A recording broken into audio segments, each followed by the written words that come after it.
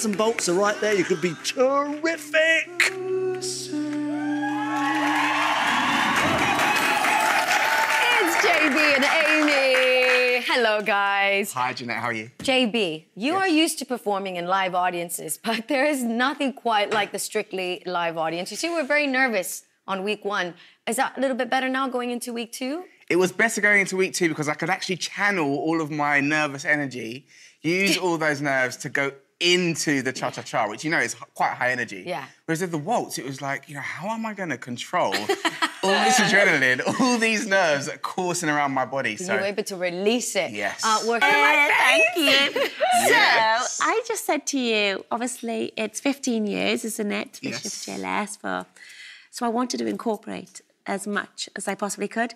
Saying that, I only give him two seconds. So we obviously did the famous move. You got what you wanted done. Yeah. But that's the only part, the very beginning. And then we did, um, obviously, You I did showed the you the shoulders, yeah. and I was like, give me your vibe on that. So I had the shoulders, and then he did it his way. So I was like, right, let's go in with that. I, I liked it. Thank you. Was chatty exactly, cha cha cha.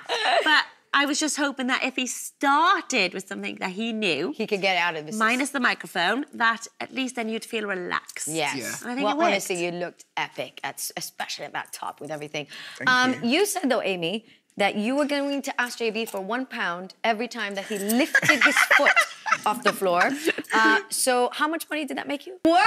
Yes. Oh, well, listen, you should be, we're getting into the thick of it all now. How hard was it seeing Tom eliminated Ah, the I was gutted. He's my dressing roomie, if that even is a thing. Yeah, he um, He's a lovely boy as well. Yeah. Like he's, you know, got such a nice energy. And of course, you know, you know, people expected him to do really, really well and grow week on week. You know, especially having not, you know, had any sort of dance background, anything like that. And he was doing really well, and it was just such a shock, I think, to everybody to see him go. which is the competition is real now. you know, Yeah, and people it's really strong.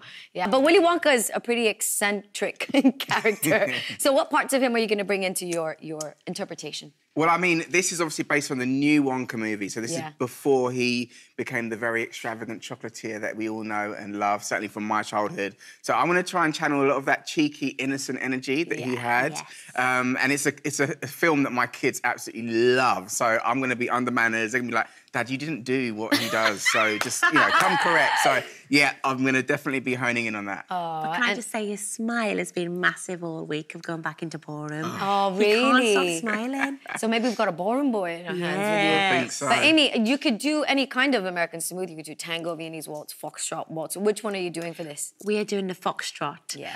And do you want to explain? Whatever Amy says, that's what Just I'm what you do. Yeah. Uh, but what there, you know, it's hard because coming from a boy band background, there are some bad habits that maybe are still in there. Shoulders. So, what are you doing to get those habits into chocolate river this week?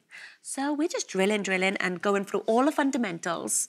We, I strip it right back, and every day then I give a new layer of technique. And this afternoon was a new layer, wasn't it, for the footwork? Well, you always use visual aids, which is really good for me. So she, today she was like, be a banana, which sounds weird. Best fruit in the world, just Do, saying. do you know what I mean? But then straight away when we did it, it was the best we'd ever done that little section. I was just like, there you go.